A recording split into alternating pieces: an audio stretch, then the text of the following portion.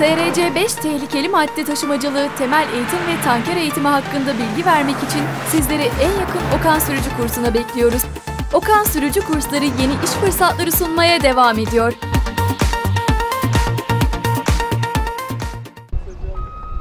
Katı atık inşaat sahasına giden basın mensuplarına önce şantiye şefi Nihat Demiroğlu yapılan çalışmalarla ve gelinen durumla ilgili olarak açıklamalarda bulundu. Ee, Yaklaşık 9 aydır e, çalışmalarımız aral- aralıksız olarak devam etmektedir. Ee, Gördüğümüz alan lot 1 olarak adlandırıyoruz. Bu alan e, bu alanda e, Balıkesir ve çevre e, ilçelerden gelen atıklar depolanacak.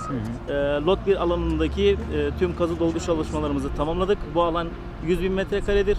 E, 100 bin metrekarede kazı dolgu e, çalışmaların ardından e, Avrupa standartlarının üzerinde e, 50 santim kil tabakasını teşkil etmeye başladık. Belediye Başkan Yardımcısı Ali Öztozlu da basın mensuplarına projenin aşamalarını anlattı. Toplam 100 bin metrekarelik alanda Avrupa Birliği standartlarında yeni çöp döküm sahası bizim not dediğimiz e, saha yapılıyor. E, Burada e, kazı dolgu çalışmaları tamamlanmış e, gördüğümüz gibi. E, Kil e, tabakası döşeniyor 1 metre kalınlığında.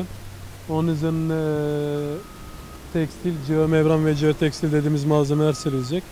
E, Ve e, bundan sonra bu saha bittikten sonra e, civar yani birliğe e, üye olan ilçelerden, beldelerden ve Balıkesir'in çöpleri Avrupa Birliği standartlarındaki e, çöp sahasına depolanacak. E, bu e, iki aylık e, arkadaşlarla görüştük. Bir süreç kalmış. İki ay sonra bu lot tamamen bitiyor. Bu arada Susurluk, Pamukçu ve Kepsut'un e, taşınma, çöp taşınma olayları bitmiş. Oradan çıkan çöpler de bizim sahamıza gelindi. Şu ileride görülen e, çöp döküm sahası da e, buraya çöp depolanmaya başladıktan sonra eski sahada tamamen kapatılacak. E, ve buranın görüntüsü çok farklı bir boyut olacak.